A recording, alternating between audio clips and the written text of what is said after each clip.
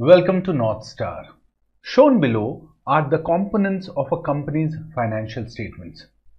Sales revenue, cost of goods sold, total assets, total equity and net income. What percentage value would net income be on the common size financial statements? So to find out the percentage value, remember in vertical analysis, sales revenue is always 100%.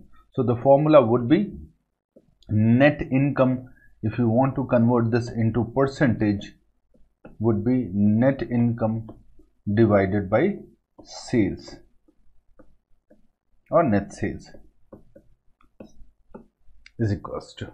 How much is the net income? 120,000 and my sales revenue is 600,000 into 100 if you want the answer in percentage so we get 20 percent.